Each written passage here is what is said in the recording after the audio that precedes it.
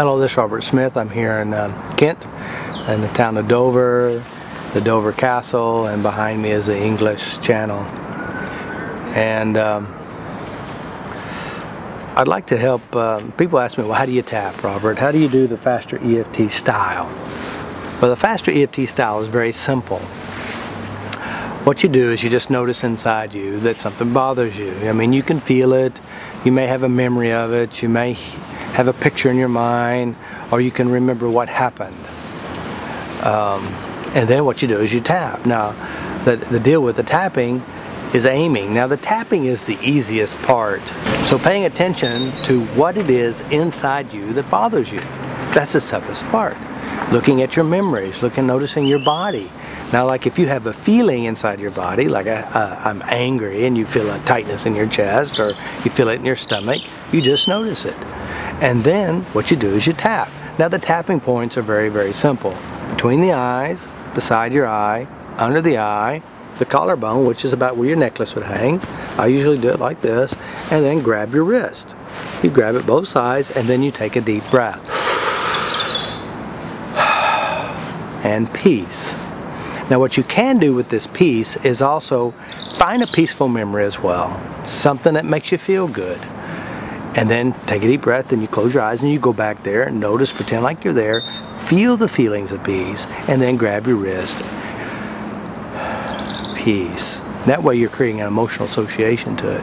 Now you can use any other word. Now I usually use peace because it's it, it creates peace, but you can use any word. I mean, if you have a memory that has has uh, harmony or or it may have Showtime or anything that makes you feel good. Now you could use that one as well.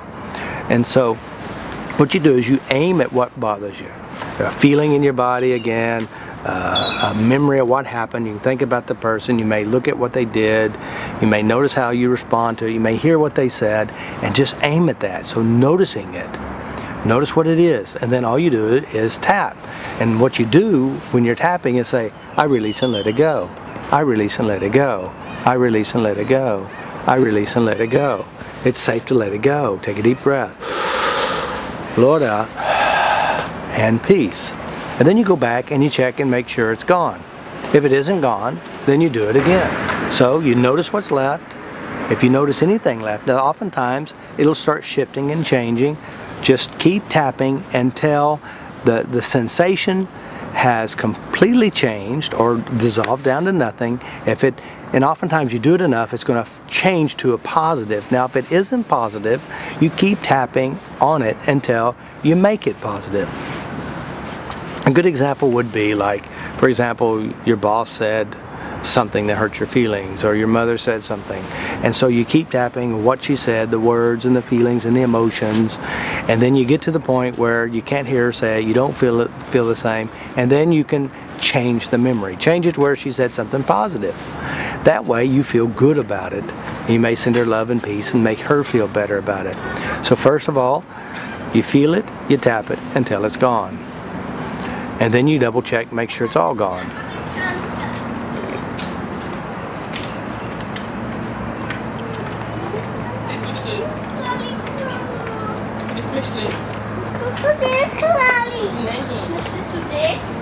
So so then you, you keep tapping. Now some for some people, what's going to happen is you're going to have to stay on this memory or this experience over and over again until it's gone. It may take you 10 minutes, it may take you 15 minutes, it may take you an hour, or it may take you two weeks. The deal is look at what you're what what it is that bothers you. Look at the person. Notice the memory. Notice the experience. And keep tapping. Now for some people you'll have a flood of memories coming in. Well when you have a flood of memories coming in just uh, you know just keep tapping. You can close your eyes and keep tapping till it's gone. Take a deep breath blow it out and say peace and then go back to the peaceful feeling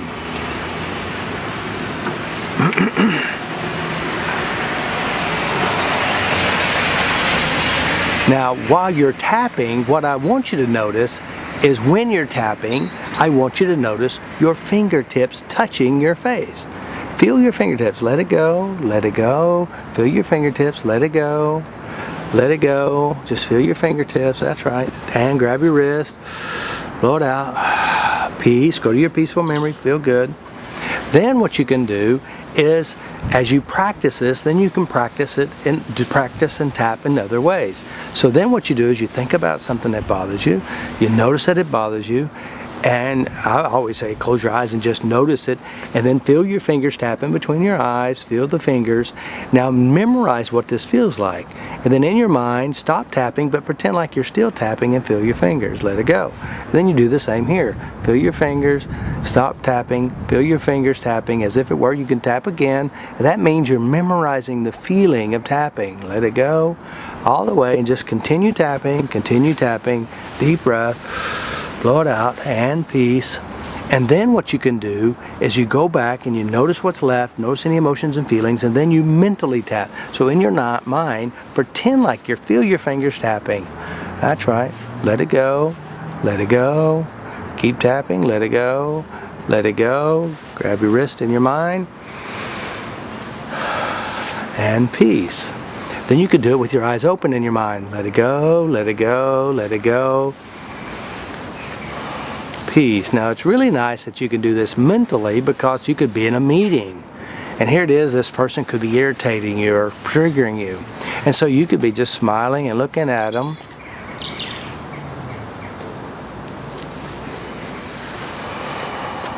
Peace.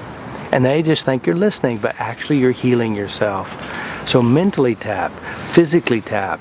And if you don't like it to do either one, you can covertly tap. Now, I created this tapping technique after a friend of mine. His name was Tom. Tom Tar. Now, who is Tom Tar? Well, Tom is a friend of mine. He's married to Sue Tar. So what he would do is he'd do something like this.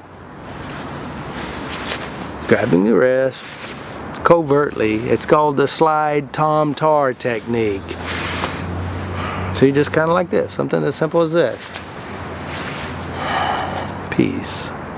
So again, you can tap many ways and the most important part about the tapping is not the tapping. It's aiming at inside you, noticing what it is inside you that bothers you.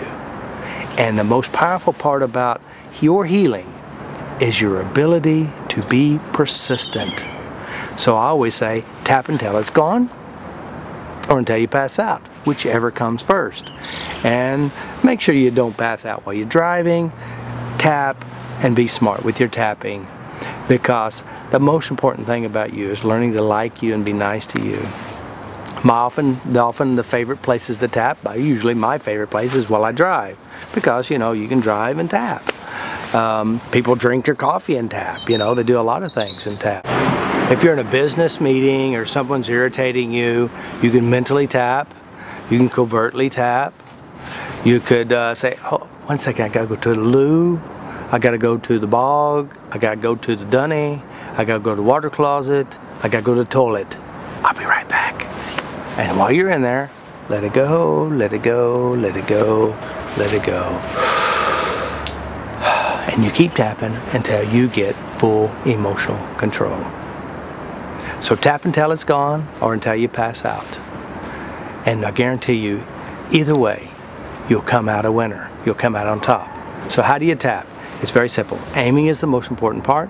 Tapping is the deal. Is just be persistent, keep working on it, keep tapping on until it's gone. And when you do this, everything will be better. This is Robert Smith. I hope this makes it easy for you because the easier it is, the more likely you'll use it. And I guarantee you it works. These points that I use I've been using for eight or ten years. It's one of the fastest and easiest and the cleanest and the less craziest looking way. So keep tapping on yourself, take complete ownership, Love yourself by being nice yourself. Clean up everything inside. Tap in the heat of the moment, and your whole lives will begin to change. And we'll talk to you later. This is Robert here in Dover. And behind me, the English Channel, and I'm sitting under a nice, beautiful tree on the bridge talking to you.